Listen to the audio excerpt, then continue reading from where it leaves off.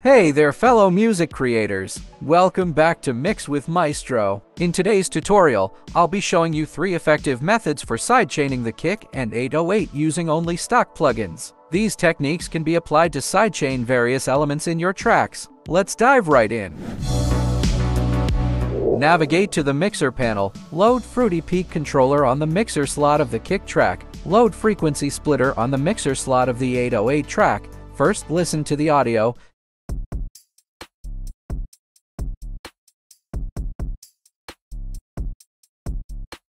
Solo the 808 mixer slot and play it.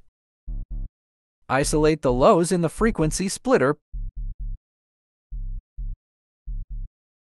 Adjust the frequency knob to range from 60 to 70 Hz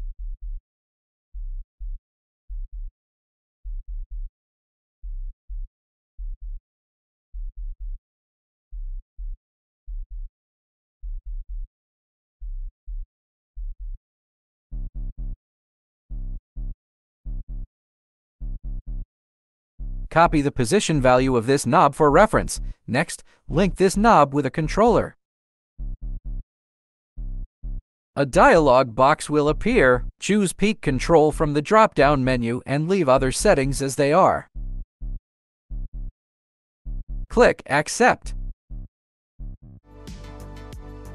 Now, notice that the volume knob of the lows section is at O. Go to the Peak Controller plugin and paste the copied value into the bass knob.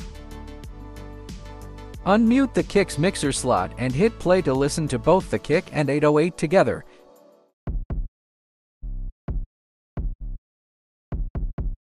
Go to the peak controller and fine-tune the volume knob according to your preference. Adjust the tension and decay knobs to set the attack and release times. To minimize phasing issues, enable the linear phase mode on the frequency splitter plugin.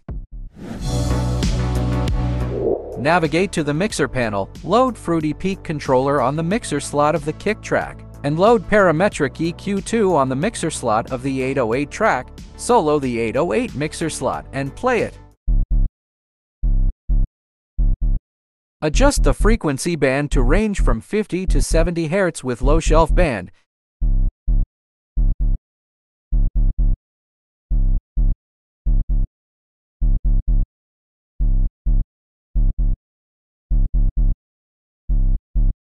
Copy the position value of this slider for reference.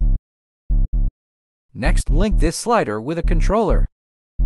Choose Peak Control from the drop-down menu and leave other settings as they are, and hit Accept. Now, repeat the same process as we did in previous section. Go to the Peak controller and paste the copied value into the bass knob. And fine-tune the volume knob according to your preference. Also adjust the tension and decay knobs to set the attack and release times. Unmute the Kicks mixer track and listen both together.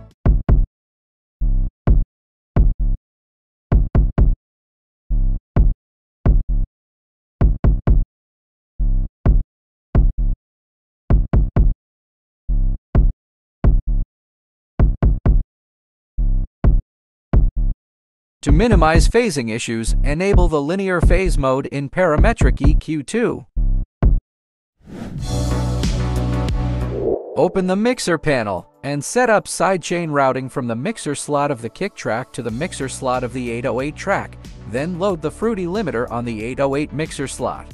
Ensure that the Fruity limiter is in compressor mode. Right-click in the sidechain source area and select kick. This setup will cause the volume to decrease only when the kick signal is present. Adjust the values of the threshold and ratio knobs to your desired settings.